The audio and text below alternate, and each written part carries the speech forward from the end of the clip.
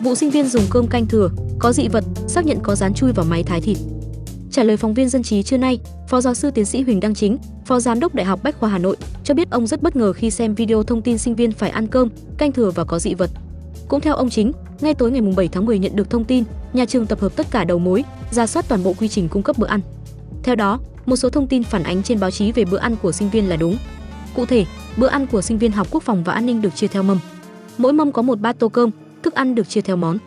Khi các mâm ăn không hết cơm, nhất là mâm nữ, cơm thừa được nhà bếp đổ lại vào nồi cho các bạn ăn sau. Ở chi tiết nhân viên nhà ăn đổ canh thừa vào tô chung để chia cho người ăn sau, ông chính khẳng định, tôi không hiểu sao họ làm vậy.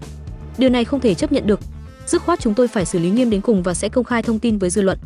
Về thông tin có dị vật trong đồ ăn, đại diện Đại học Bách khoa cho biết, duy nhất có hai trường hợp sinh viên phản ánh có chân rán trong đồ ăn là đúng sự thật.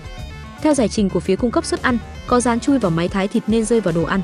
Các hình ảnh dị vật khác trong đồ ăn chưa thể xác minh được. Do trước đó nhà trường không nhận được phản ánh chính thức nào từ sinh viên nên yên tâm tin tưởng vào đơn vị cung cấp suất ăn. Khi phóng sự đưa ra, nhà trường rất bất ngờ, đại diện này nói: